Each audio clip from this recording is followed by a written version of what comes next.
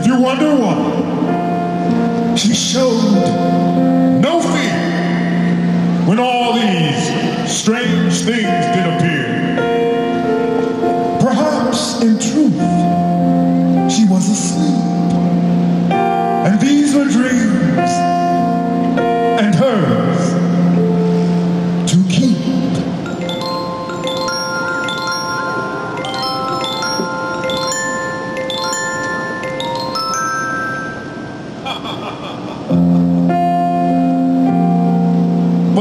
Asleep or wide awake, we somehow know when we are safe. And before her child's mind could stray, another dream was sent her way.